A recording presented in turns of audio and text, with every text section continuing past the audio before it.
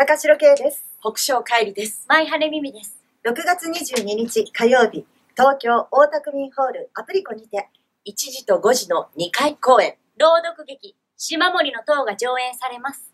鉄の嵐と言われた沖縄戦の惨事の中、生きろと未来に希望を託した物語。公演チケット、配信チケット発売中です。ぜひともご覧ください。